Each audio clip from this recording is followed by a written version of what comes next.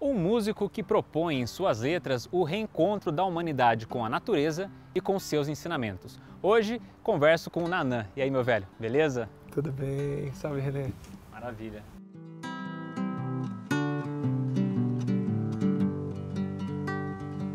Eu quero morar numa casinha feita à mão, numa floresta onde eu possa plantar que eu quiser e andar de pés no chão. Eu quero morar numa casinha feita à mão, numa floresta onde eu possa plantar o que eu quiser e andar de pés no chão. Vou plantar abacaxi com banana, mandioca, cacau, batata doce, feijão, palmito e um café bem bonito.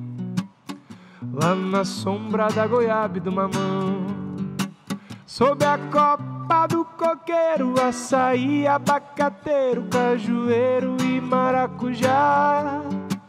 E lá no alto a seringueira com guapuru vou na beira Contemplando a vista pro mar quero morar Numa casinha feita à mão Numa floresta onde eu possa plantar o que eu quiser E andar de pés no chão. Eu quero morar numa casinha feita à mão, numa floresta onde eu possa plantar o que eu quiser e andar de pés no chão. E vai ter trilha pro rio, cachoeira, cascata no berro dos tucanos, canto do sabiá. No voar das borboletas, a saíra bem faceira, sete cores na procura do jantar. Abelha nativa fazendo colmeia, colhendo pra lá e pra cá. Espero que tenha um fogão a lenha e muitos com quem celebrar. Yeah. Eu quero morar numa casinha feita à mão. Agrofloresta onde eu possa plantar o que eu quiser e anda de pés no chão. Yeah, quero morar numa casinha feita à mão, yeah, numa floresta onde eu possa plantar o que eu quiser anda de pés no chão. Hum, cuidado do facão, apagar a ilusão de que o que é bom é o que produz demais. Confia na natureza sem manchar sua beleza com veneno e outras coisas más.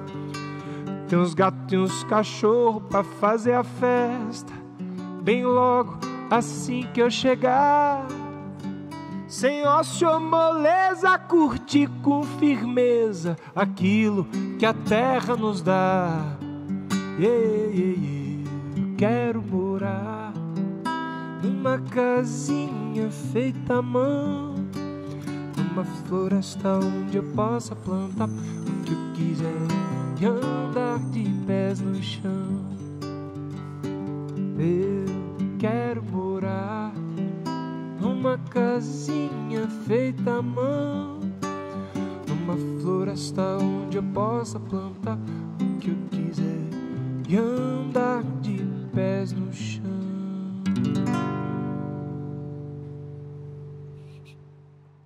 Cara, como que começou na sua vida esse lance de você falar um pouco sobre a interação do homem com a natureza, a importância né, de estar em harmonia com a natureza? De alguma maneira, suas músicas sempre permeiam essa ideia, assim, e eu acho muito curioso esse pensamento. Sim. Cara, eu acho que brasileiro, né, latino-americano, é, como caipira que sou, né, criado ali no Mato Grosso, assim, então acho que o meu universo simbólico, por ter esse contato com, com o bioma da Mata Atlântica, o bioma do Pantanal, é, ele sempre inundou meus sonhos, assim, né? É, poder estar perto de bicho, de planta, de pôr do sol, de caverna, de cachoeira. É, mas depois eu lembro que eu voltei para a cidade que eu nasci, que é Maringá, né? E como todo adolescente, mergulhei no rock e na temática subversiva daquela punk, coisa, aquela coisa de, de, de, de, querer questionar, né? Então assim, acho, acho que ali a, a, nossa, a gente cantava sobre o que a gente vivia, certo? Que era basicamente bebedeiras, noitadas e, e esse universo é, do, do, do, dos 16, 17, 18 anos, assim, né? Tá conhecendo de, o mundo aí. Conhecendo o mundo e, e, questionando uma série de coisas também, até um pouco rebelde também, né? Eu acho que quando eu mudo para o litoral do Paraná, com os meus 18 anos, eu começo a viver outras coisas, eu começo a viver primeiro contato com, com o Oceano Atlântico, né? com a mata, a floresta atlântica, com a Serra do Mar. E não só com isso, mas também com todo o universo que eu, que eu fui estudar na Universidade Federal do Paraná, o curso de gestão ambiental, né? Então, é, eu comecei a, a, olhar para a natureza com, com esse viés da ecologia mesmo, né? Ou seja, somos parte da natureza, somos uma extensão da natureza, né? Então, acho que a partir do momento que eu comecei a, a vivenciar novas coisas, eu comecei a compor. Eu acho que toda, toda composição, e o papel do artista é sempre muito autobiográfico, né? É muito difícil a gente cantar sobre algo que a gente não vive, né? Lógico. Não é, né? Então, e essa, essa maneira de ver o mundo também. É, né? então, então acho que é, é, uma, é uma forma de, de compartilhar vivências, né? Como, como Caso da Floresta, né? Que é, que é uma música que virou carro-chefe desse projeto hoje, né? E não só não só desse projeto, mas, mas porta-bandeira dessa, dessa, desse levante agroecológico e dessa, e dessa forma de olhar para a natureza e para os cultivos agrícolas com cooperação e com essa e com essa visão que culturas antigas já tinham, né?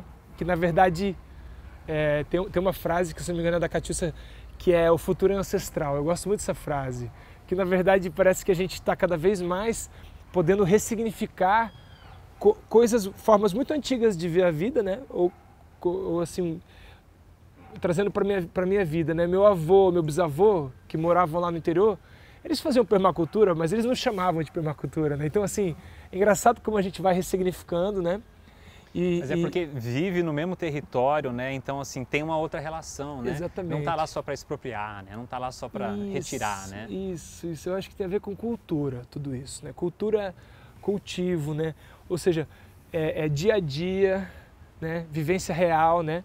E eu acho que na medida que esse dia a dia vai virando canção, essas canções são como se fossem paisagens, né? Que, que são apresentadas para as pessoas e as pessoas conseguem fechar os olhos e, e, e sentir, né? Essas sínteses, né? Como, como se elas conseguissem absorver toda aquela, aquela consideração, aquela compreensão que é o poder que, a, que acho que a música tem, né? E você falou de sentir, e eu achei uma coisa assim muito curiosa, uma característica do seu show, que é você chega no show do Nanã, são todos estranhos, né? De repente as pessoas sentam, essas pessoas elas não se conhecem, mas elas começam, começam a se conectar pela música, né? E eu, eu, eu, vejo assim, nossa, começa a rolar uma harmonia assim em volta, uhum. né? Então assim, é, é, eu, eu, fiquei, eu fiquei muito assim interessado com como que você enxerga isso também acontecer, porque uhum. é, as pessoas estão ali, né, para acompanhar a sua música, mas elas acabam se conectando com as outras, né? E, e acaba uhum. acontecendo ali um, uma, uma espécie de, de, harmonia entre essas pessoas dentro das ideias que você está propondo no seu show. Sim estão dentro das canções, mas também estão dentro Sim. de muitas falas que você faz Sim. ali, né? Sim. Colocações que você, que você põe. Legal. Olha, eu acho que você falando me veio uma imagem de uma mandala. E é interessante pensar em mandala porque a mandala é, é isso, né? Uma geometria com distâncias, né? Que fazem um, um desenho que, que soa harmônico, né? Acho que, acho que a harmonia tem a ver com encaixe, né? tem a ver com a gente se sentir parte no lugar certo, né? como se cada coisa tivesse seu lugar. Né? Acho que esse é o conceito até para a própria música. Né? Uma música que, tenha, que trabalha com harmonia vai ser esse conceito. Eu acho que quando a gente vai é, num, num concerto né? ou, ou num, num show, a gente pode ter essa perspectiva do entretenimento, né? Superficial, às vezes, que aquilo é só um músico tocando para você se divertir ou para você ter um momento bom, de prazer. Mas eu acho que a música, ela tem um poder de rito muito grande, sabe?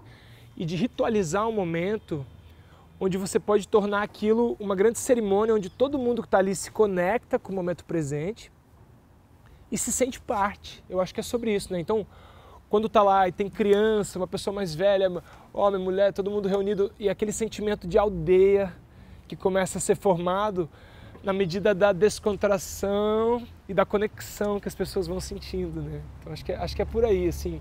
Tem um quê assim de de, de ritual, né, também, né? Mas não ritual naquela coisa supersticiosa, mas acho que a própria vida, né? Sentar na mesa para almoçar com a sua família é um ritual, Criar né? Criar condições para que as coisas aconteçam, é, né? E, e, e, e, um, um, e uma forma de colocar amor naquilo também, sabe? Eu acho que quando a gente está presente, quando a gente sente é, profundidade na empatia, né? Ou seja, eu estou aqui e mesmo que essa pessoa seja desconhecida, ela é um par, né? ela, é, ela é, é um senso de comum, né? É, comunidade, acho que vem desse, dessa, dessas duas palavras, né? Comum, unidade, né?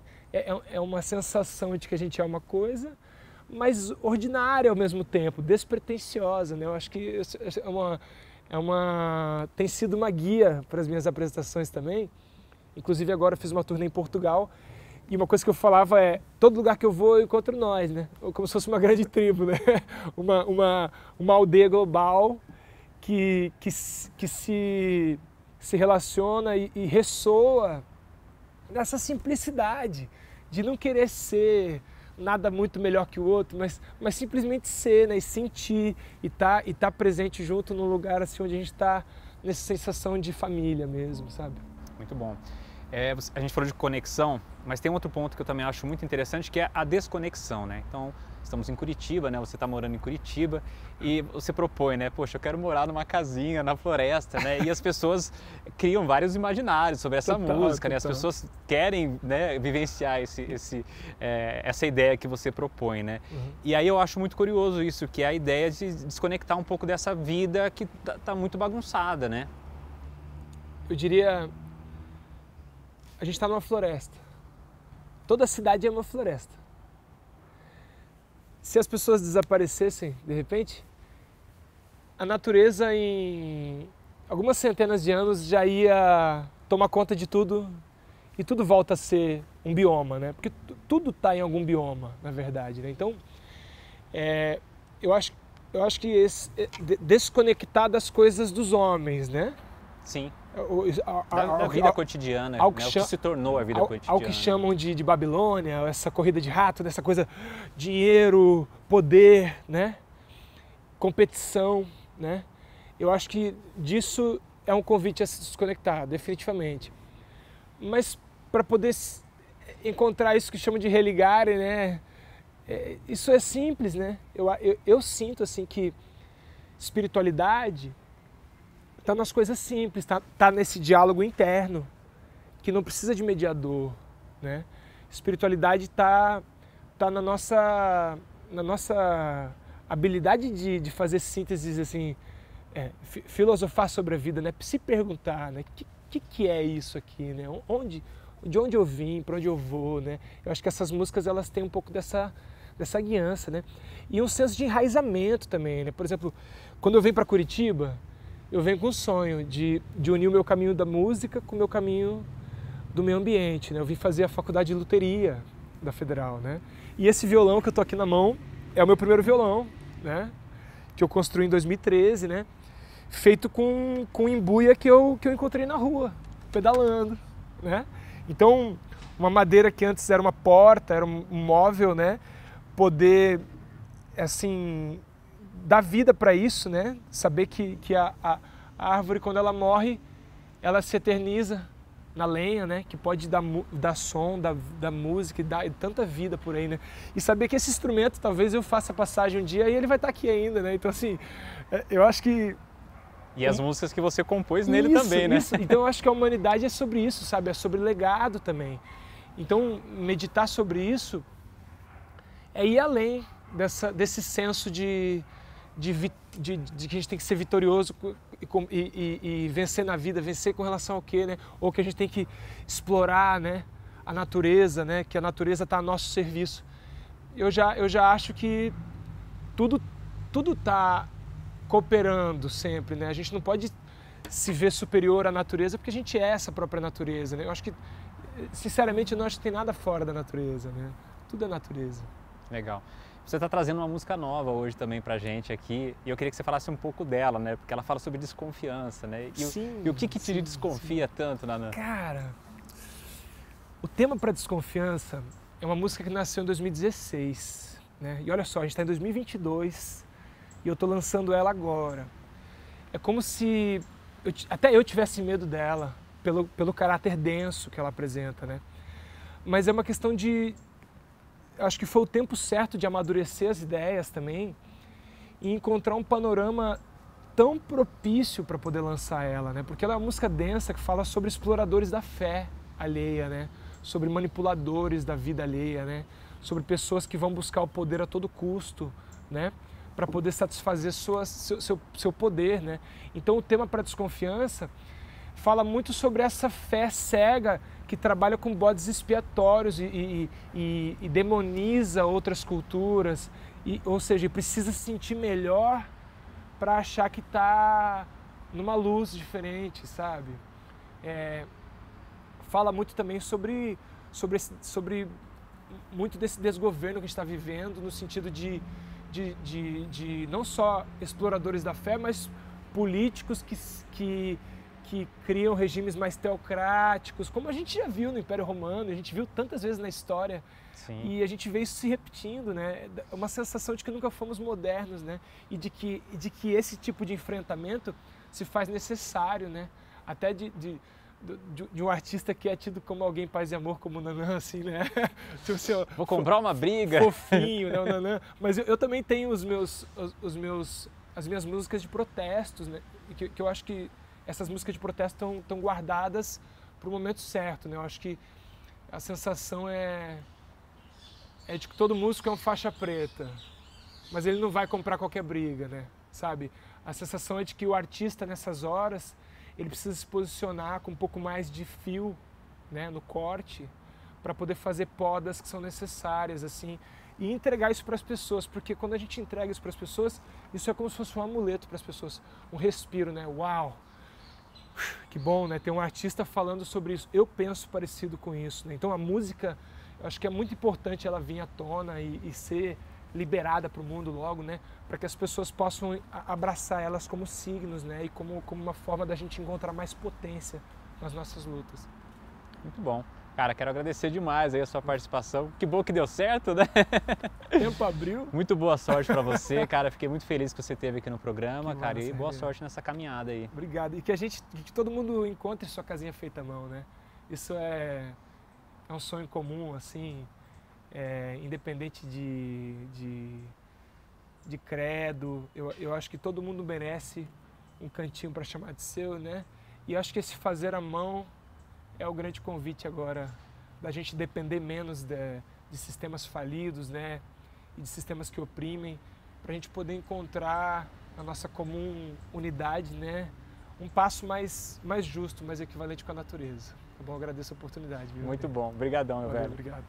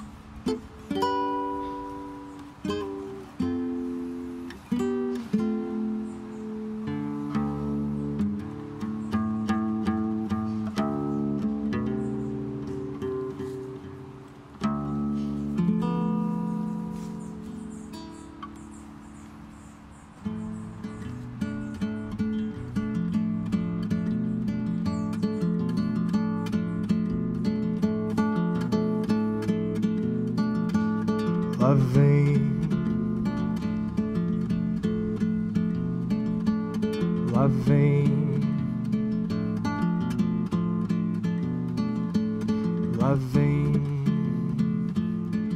julgando pela aparência, ele vem, lá vem, lá vem, com toda essa banca de gente importante anda com a fronte levantada, avança, nariz empinado, aponta os dedos, não vê que três lhe apontam para si mesmo. Tu vem que vem.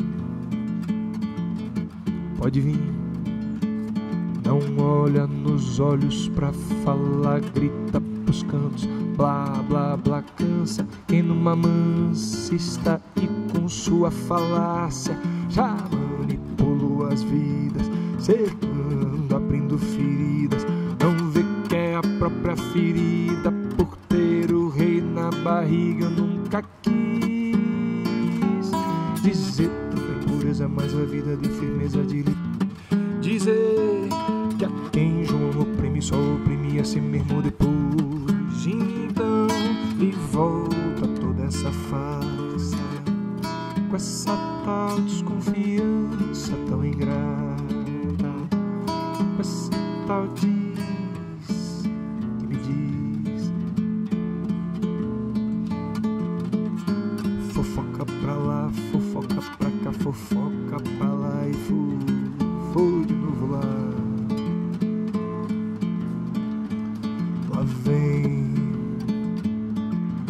gravata enforcando a garganta, ele vem. Aperta todos os calos, vem que vem. Lhe julga inferior, mas não está bem. Lhe falta interior. Ah, tanta sombra pra iluminar, tanta sombra pra iluminar. Não percebe que é a sombra que assim mesmo tem que clarear. Tanta sombra pra iluminar, tanta sombra pra iluminar. Não percebe que é a sombra que assim mesmo não tem, nunca quis expor dessa maneira que falei há pouco mais é que eu lhe, lhe vejo. Em tanta besteira, preguiça, rodeio, mal fazer. Então se aprume, não disfarça com essa tal desconfiança tão ingrata, com essa tal desconfiança tão ingrata. Silêncio é ouro,